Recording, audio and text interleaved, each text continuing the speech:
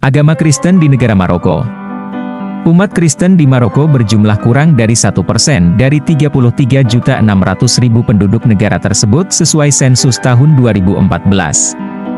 Penganut agama Kristen sebagian besar beragama Katolik dan Protestan. Kekristenan di Maroko muncul pada zaman Romawi, ketika dipraktikkan oleh orang berber Kristen di Mauretania tinggi tanah Romawi, meskipun agama ini mulai menurun setelah penaklukan Islam pada abad ke-7. Kekristenan pribumi di Afrika Utara secara efektif berlanjut setelah penaklukan Muslim hingga awal abad ke-15. Selama masa protektorat Prancis dan Spanyol, Maroko memiliki populasi pemukim Katolik Eropa yang signifikan menjelang kemerdekaan, diperkirakan 470 ribu umat Katolik tinggal di Maroko.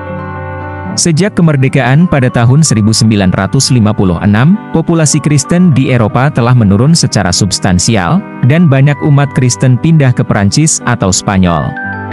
Sebelum kemerdekaan, para pemukim Katolik Eropa mempunyai warisan sejarah dan kehadiran yang kuat. Kemerdekaan mendorong eksodus massal pemukim Kristen Eropa, setelah serangkaian peristiwa pada tahun 1959 hingga 1960, lebih dari 75% pemukim Kristen meninggalkan negara tersebut. Pada tahun 2022, Departemen Luar Negeri Amerika Serikat memperkirakan jumlah umat Kristen Maroko saat ini lebih dari 40.000 orang. Sejak tahun 1960 semakin banyak Muslim Maroko yang masuk Kristen. Pasal 3 Konstitusi Maroko menjamin kebebasan menjalankan keyakinan. Namun, KUHP Maroko melarang perpindahan agama ke agama lain selain Islam. Konversi umat Islam ke Kristen, baik dakwah atau murtad, sering terjadi pada masa kolonial, ketika undang-undang yang melarang perpindahan agama tersebut belum ada. Pada tahun 2023, Maroko menduduki peringkat salah satu dari 30 negara di dunia yang paling berbahaya bagi umat Kristen. Kekristenan awal di Maroko Kekristenan diperkenalkan ke wilayah tersebut pada abad kedua Masehi, dan mendapat penganut baru di kota-kota dan di kalangan budak serta di kalangan petani berber.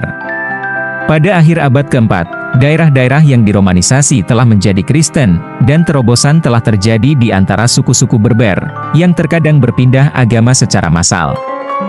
Gerakan-gerakan skismatis dan sesat juga berkembang, biasanya sebagai bentuk protes politik. Daerah tersebut juga memiliki populasi Yahudi yang besar. Sejak tetrarki, reformasi struktur pemerintahan Kaisar Diocletian pada tahun 296 Masehi, Mauretania Tinggi Tanah menjadi bagian dari Keuskupan Hispaniae dan karenanya menjadi Prefektur Praetorian Galia, Mauretania Caesariensis berada di Keuskupan Afrika. Pada tahun 296 Masehi, prefektur praetorian lainnya di Kekaisaran Barat, dan tetap demikian sampai penaklukannya oleh kaum Vandal. Menurut tradisi, kemartiran St. Marcellus terjadi pada tanggal 28 Juli 298 di Tingis pada masa pemerintahan Diokletianus. Penganiayaan Diokletianus mengakibatkan apa yang disebut ajaran sesat Donatisme, yang menyebabkan perpecahan di wilayah tersebut. Dinamakan setelah uskup Kristen berber Donatus Magnus, Donatisme berkembang selama abad keempat dan kelima. Masa penaklukan umat Islam Penelitian arkeologi dan ilmiah menunjukkan bahwa agama Kristen ada setelah penaklukan Muslim. Gereja Katolik secara bertahap mengalami kemunduran seiring dengan dialek Latin lokal. Namun pandangan lain yang ada adalah bahwa agama Kristen di Afrika Utara secara efektif berakhir segera setelah penaklukan Afrika Utara oleh Kekhalifahan Islam Umayyah antara tahun 647 Masehi 709 Masehi. Banyak penyebab yang dianggap menyebabkan kemunduran agama Kristen di Maghreb. Salah satunya adalah peperangan dan penaklukan serta penganiayaan yang terus-menerus. Selain itu, banyak pula umat Kristiani yang bermigrasi ke Eropa. Gereja pada saat itu tidak memiliki tulang punggung tradisi monastik dan masih menderita dampak dari ajaran sesat termasuk apa yang disebut ajaran sesat Donatis, dan hal ini turut menyebabkan kehancuran awal gereja di Maghreb saat ini. Beberapa sejarawan membandingkan hal ini dengan tradisi monastik yang kuat di Mesir Koptik, yang dianggap sebagai faktor yang memungkinkan gereja Koptik tetap menjadi agama mayoritas di negara tersebut hingga sekitar abad ke-14 meskipun terjadi banyak penganiayaan. Selain itu, bangsa Romawi tidak dapat sepenuhnya mengasimilasi penduduk asli seperti suku Berber. Perlakuan dan penganiayaan terhadap umat Kristen di bawah pemerintahan Almohad juga mengalami perubahan drastis. Banyak orang Kristen dibunuh, dipaksa pindah agama, atau terpaksa mengungsi.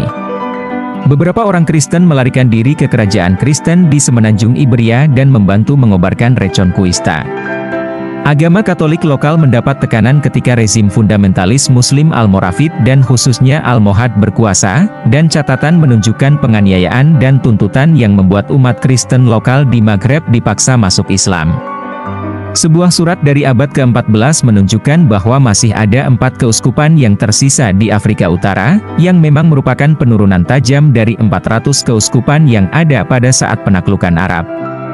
Al-Mohad Abidi Al-Emyumin memaksa umat Kristen dan Yahudi di Tunis dan Maghrib untuk pindah agama pada tahun 1159.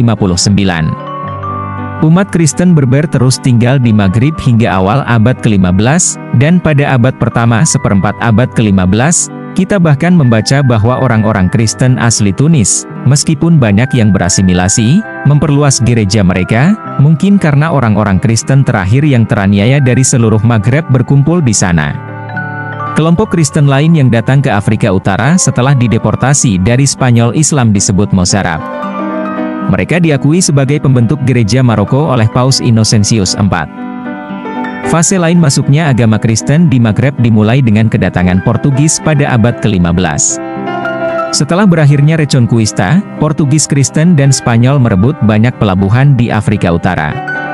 Pada bulan Juni 1225, Paus Honorius III mengeluarkan Banteng Vineae Domini Custodes, yang mengizinkan dua saudara Ordo Dominikan, bernama Dominik dan Martin, untuk mendirikan misi di Maroko dan mengurus urusan umat Kristen di sana.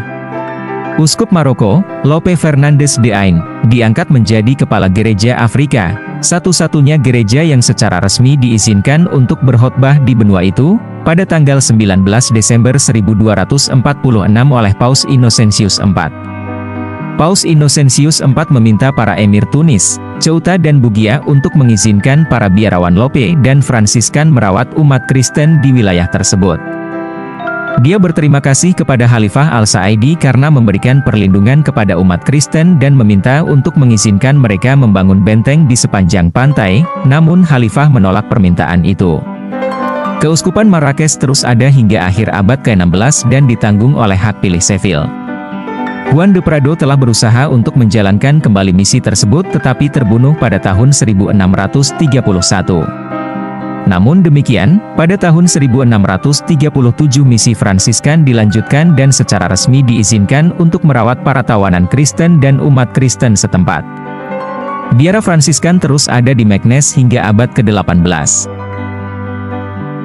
Pengaruh Eropa tahun 1912-1956 selama era protektorat Spanyol dan protektorat Prancis atas Maroko. Kondisi gereja Katolik telah berkembang, dan gereja-gereja Katolik, sekolah, dan rumah sakit dibangun di seluruh negeri, dan hingga tahun 1961, perayaan masal hari Minggu disiarkan di radio dan televisi. Sebelum kemerdekaan, Maroko adalah rumah bagi setengah juta pemukim Kristen Eropa. Selama masa protektorat Perancis di Maroko, umat Kristen Eropa membentuk hampir separuh populasi kota Casablanca. Sebelum kemerdekaan, jumlah umat Katolik di Maroko Perancis mencapai sekitar 360 ribu atau sekitar 4,1 persen dari populasi. Umat Katolik di Maroko Perancis sebagian besar adalah keturunan Perancis, dan pada tingkat yang lebih rendah merupakan keturunan Spanyol dan Italia. Beberapa orang Maroko keturunan Berber atau Arab berpindah agama menjadi Kristen pada masa kolonialisme Perancis. Sejak kemerdekaan pada tahun 1956, populasi Eropa telah menurun secara signifikan, dan banyak umat Katolik pindah ke Perancis atau Spanyol. Antara tahun-tahun terakhir abad ke-19 dan awal abad ke-20, diperkirakan 250 ribu umat Katolik Spanyol tinggal di Maroko. Kebanyakan orang Spanyol meninggalkan Maroko setelah kemerdekaan dan jumlah mereka berkurang pada tahun-tahun menjelang Perang Dunia Pertama, umat Kristen Eropa membentuk hampir seperempat populasi Tangier. Pada tahun 1950, umat Katolik di Protektorat Spanyol di Maroko dan Tangier mencakup 14,5 persen populasi, dan Maroko Spanyol adalah rumah bagi 113.000 pemukim Katolik. Umat Katolik di Protektorat Spanyol di Maroko dan Tangier sebagian besar adalah keturunan Spanyol, dan sebagian kecil lagi adalah keturunan Portugis, Prancis, dan Italia. Agama Kristen pada masa kemerdekaan Maroko tahun 1956 Kemerdekaan mendorong eksodus massal para pemukim Katolik Eropa setelah tahun 1956 lebih dari 75% pemukim Katolik meninggalkan negara itu. Sekitar 3.000 penduduk asing adalah anggota gereja Ortodoks Rusia dan Yunani. Kebanyakan orang Kristen tinggal di daerah perkotaan Casablanca, Tangier, Marrakesh, dan Rabat. Sejak tahun 1960, semakin banyak Muslim Maroko yang masuk Kristen. Banyak orang Kristen Maroko keturunan Berber atau Arab yang sebagian besar berpindah agama pada era modern atau di bawah dan setelah kolonialisme Perancis. Denominasi agama Kristen Maroko 1. Agama Katolik Kekristenan telah lama hadir di Maroko, sejak zaman Kekaisaran Romawi. Kolonisasi Perancis dan Spanyol di Afrika Utara pada abad ke-19 dan ke-20 semakin menanamkan agama Katolik di wilayah tersebut. Selama era protektorat Spanyol dan protektorat Perancis atas Maroko, kondisi gereja Katolik telah berkembang, dan gereja-gereja Katolik, sekolah, dan rumah sakit dibangun di seluruh negeri, dan hingga tahun 1961, perayaan masal hari Minggu disiarkan di jaringan radio dan televisi. Selama masa protektorat Prancis dan Spanyol, Maroko mempunyai populasi pemukim Katolik Eropa yang signifikan. Pada malam menjelang kemerdekaan, diperkirakan 470 ribu umat Katolik tinggal di Maroko. Sejak kemerdekaan pada tahun 1956, populasi Katolik Eropa telah menurun secara substansial, dan banyak umat Katolik pindah ke Perancis atau Spanyol. Sebelum kemerdekaan, para pemukim Katolik Eropa mempunyai warisan sejarah dan kehadiran yang kuat.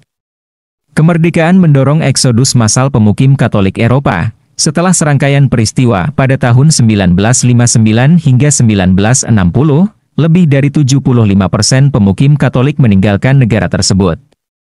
Saat ini ada sekitar 30 ribu umat Katolik di Maroko. Kebanyakan dari mereka adalah ekspatriat Eropa, terutama Perancis dan Spanyol karena ikatan sejarah negara tersebut dengan Perancis dan Spanyol. Kelompok lainnya terdiri dari imigran sub-Sahara, sebagian besar pelajar. Negara ini terbagi menjadi dua keuskupan agung Rabat dan Tangier. Pada tahun 2022, lebih dari 12.000 siswa terdaftar di 16 sekolah Katolik di seluruh negeri. Sekolah-sekolah yang dikelola Katolik biasanya menggunakan bahasa Prancis sebagai bahasa pengantar setelah sekolah dasar. 2. Protestan Anglikan Meskipun sebagian besar wilayah Afrika, termasuk Afrika Utara bagian timur, memiliki keuskupan dan provinsi Anglikan yang independen, bagian barat Afrika Utara, termasuk Gereja Anglikan Maroko, adalah bagian dari Keuskupan Eropa, yang merupakan bagian dari Provinsi Canterbury di Gereja Inggris. Ada dua kapelan permanen, satu di Casablanca dan satu lagi di Tangier. Sekelompok kecil umat Anglikan beribadah bersama di Marrakesh, namun tidak ada gereja Anglikan yang didirikan di sini. Gereja Anglikan Saint Andrew, Tangier telah menjadi objek wisata, sebagian karena tokoh-tokoh terkenal tertentu dimakamkan di halaman gerejanya. Gereja ini merupakan pengganti bangunan kecil sebelumnya pada awal abad ke-20, yang dibangun dengan izin tertulis dari Raja Maroko, di atas tanah yang disumbangkan olehnya. Pada 27 Maret 2010, majalah Maroko Telkuel menyatakan bahwa ribuan orang Maroko telah masuk Kristen. Menunjukkan tidak adanya data resmi, Service de Presse Common Ground mengutip sumber yang tidak disebutkan secara spesifik yang menyatakan bahwa sekitar 5.000 orang Maroko menjadi Kristen antara tahun 2005 dan 2010. Sebuah perkiraan menyebutkan bahwa program Kristen oleh saudara Rachid terlibat dalam perpindahan agama banyak Muslim di Afrika Utara dan Timur Tengah menjadi Kristen, termasuk 150 ribu di Maroko. Sejak tahun 1960, semakin banyak Muslim Maroko yang masuk Kristen. Banyak orang Kristen Maroko keturunan Berber atau Arab yang sebagian besar berpindah agama pada era modern atau di bawah dan setelah kolonialisme Perancis. Gereja Anglikan Saint John the Evangelist, Casablanca, terletak di pusat kota, dekat dengan Hotel Hyatt Regency di pusat kota. Gereja ini memiliki jemaat yang mapan, dan mengadakan dua kebaktian setiap minggu pagi untuk menampung semua jamaah. Ada program KTKC untuk anak-anak. 3 Kristen Ortodoks Timur ada tiga gereja Ortodoks Timur yang berfungsi di Maroko, Gereja Ortodoks Yunani di Casablanca dan Gereja Ortodoks Rusia di Rabat dan Casablanca. Semoga pembahasan ini dapat menambah wawasan pengetahuan kita semua. Nantikan video-video berikutnya hanya di channel Deladuta My Queen. Jangan lupa like, komen, subscribe dan share bila video ini bermanfaat. Salam jas merah, jangan sekali-kali melupakan sejarah.